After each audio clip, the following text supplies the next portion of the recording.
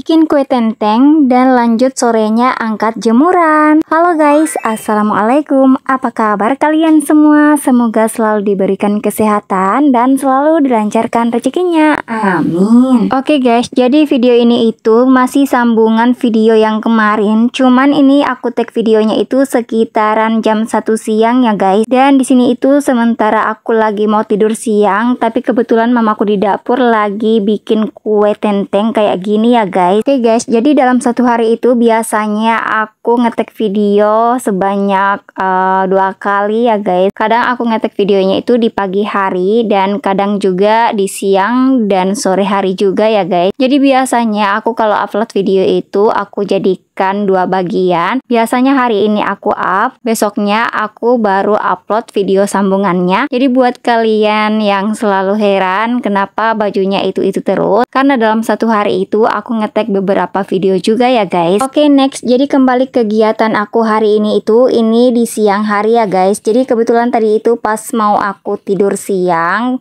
kebetulan mamaku lagi bikin kue tenteng kayak gini ya guys. Jadi di sini itu aku nggak jadi tidur siang dan kembali ke dapur lagi untuk bantu-bantu mamaku untuk bikin kue tenteng. Jadi untuk kuenya ini terbuat dari gula merah dicampur dengan wijen dan kacang tanah ya guys. Pokoknya ini tuh kue andalan kita semua juga karena rasanya itu enak banget. Terus ini juga cara bikinnya juga sangat gampang ya guys. Nggak perlu lama-lama kita bikin. Dan kebetulan juga di rumah tersedia wijen makanya kita langsung bikin aja cuman beli gula merah merah dan kacang tanahnya udah deh. Nah ini untuk bahannya itu semuanya disangrai dulu ya guys untuk kacang tanahnya. Dan wijennya juga udah disangrai kemudian dicampur dengan gula merah. Nah oke okay, singkat cerita di sini itu aku lagi ngasih plastik untuk kuenya supaya kuenya ini itu nggak nempel-nempel ke kue yang lain. Soalnya kan ini pakai bahan utama gula merah juga ya guys. Nah supaya aman ditoples tak lapisi dengan plastik bening kayak gini. Dan jangan lupa lupa juga ya guys. Jadi sebelum kita bentuk kuenya kayak gini itu harus kita kasih minyak dulu ya guys supaya nanti gampang kita angkat dan tidak lengket di uh, bakinya. Jadi kita uh, kasih plastik dulu ya guys. Nah ini kue yang selesai. Kita kasih lapisan plastik. Dan ini tuh kalau misalkan diisi toples itu penuh satu toples ya guys. Dan lanjut lagi ini mamaku bikin keronde yang kedua lagi. Dan di sini itu cuman sedikit. Nah lanjut lagi. Karena udah sore di sini itu aku mau angkat jemuran dulu. Soalnya ini jemuranku itu kalau nggak salah udah beberapa hari di kolom rumah ya guys. Maklum lah ya guys kalau misalkan aku itu paling malas yang namanya angkat jemuran ataupun lipat pakaian. Nah di sini aku langsung aja angkat semua jemurannya meskipun ini tuh nggak terlalu banyak juga. Dan